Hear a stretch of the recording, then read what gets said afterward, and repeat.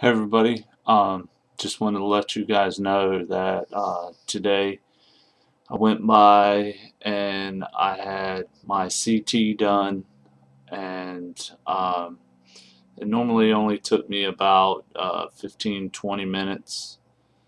Um, they took and gave me some dye. Uh, I had to take uh, some a little bit of it last night before I went to bed. And then about two hours before my visit, I had to take a little bit, uh, like every 30 minutes, I had to take 10 cc's of it.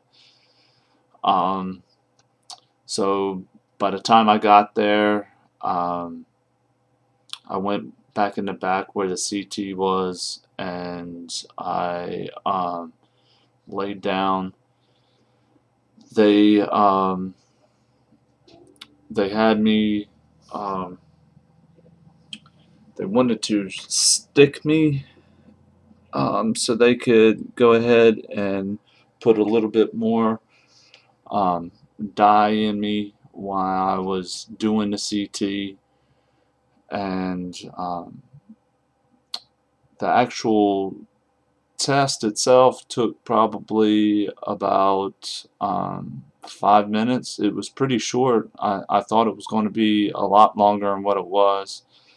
But um, uh, shortly after I, well, when I finished, um, I had a chance to uh, ask the lady that was doing the CT if I could walk to the back there so I could see uh, on the monitor exactly um, what it looked like uh, in my body and stuff to see if I could see anything that might really grab my attention like uh, because I have my shunt that's here I was wondering if that was going to grab my attention uh, kind of see if it was causing some of the problems but we we were noticing that my shunt um, goes further down into my uh, it goes down my um, abdomen right here and then it cross over um, into the middle part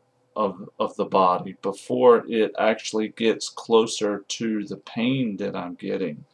So it, it was making me think that it's not uh, the shunt that's actually causing the pain. But but you know, I'm not a doctor, so I can't make the final decision as to what the pain might be coming from. But um, hopefully, uh, next time I hear back from the doctor, doctor could think of some other things that might be causing the pain.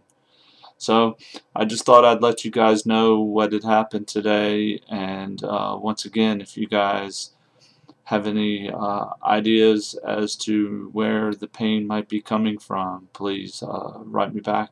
Tell me what you think. Okay? I'll talk to you guys later.